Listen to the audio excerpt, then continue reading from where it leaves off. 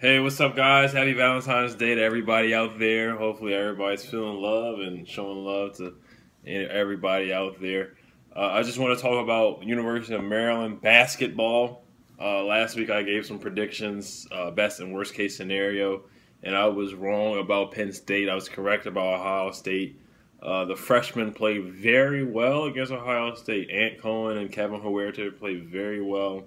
They led the way. I saw Melo Trimble didn't shoot the ball particularly well. Um, Checo played well. Uh, who else played well? Justin really scored a lot. LG got it going a little bit. Jaylen Brantley helped out. He had a couple threes, so that's great because we need his production off the bench for the tournament this year.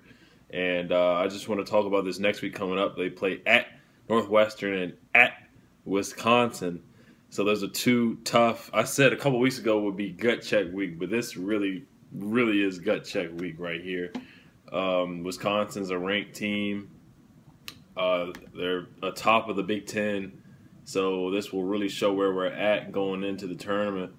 And uh, Northwestern, Northwestern, who, who is a really good team, they're on the outside looking into the top 25 right now. Maryland's at number 23 in the nation right now.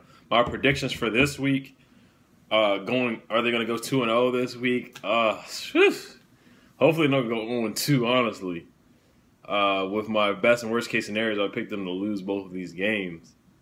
But uh, I, I want to have some confidence in my guys. I think because Northwestern is always a close game.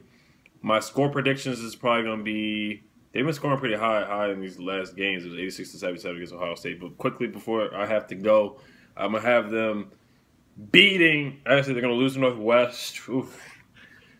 They're gonna lose to Northwestern. It's gonna be. Uh, 75 to 70, and then they're going to beat Wisconsin uh, by eight. Um, 74 to 66. All right, y'all. Peace.